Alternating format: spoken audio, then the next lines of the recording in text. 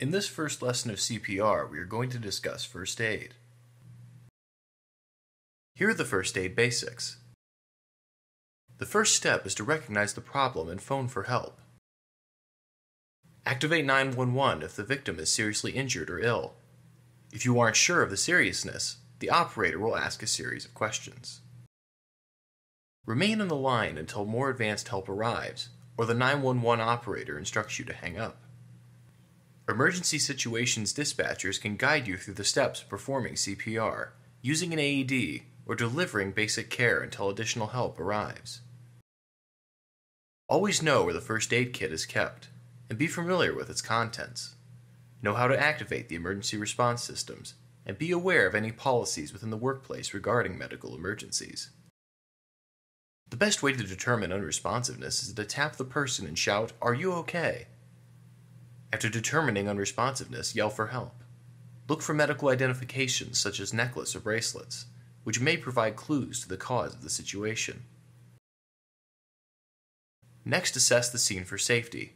You don't want to become another victim, so look for potential dangers. Remove the patient from any dangers or water present, and be alert around automobile accidents. Hand washing is essential in prevention of disease and illness. Completely wet your hands and generously apply soap. Rub vigorously for at least 20 seconds and then rinse your hands with water. Dry your hands with a towel or air dryer. Hand sanitizers are substitutes if hand washing is not available. Wash the victim's hands at first opportunity, and your own hands after each removal of gloves or patient care.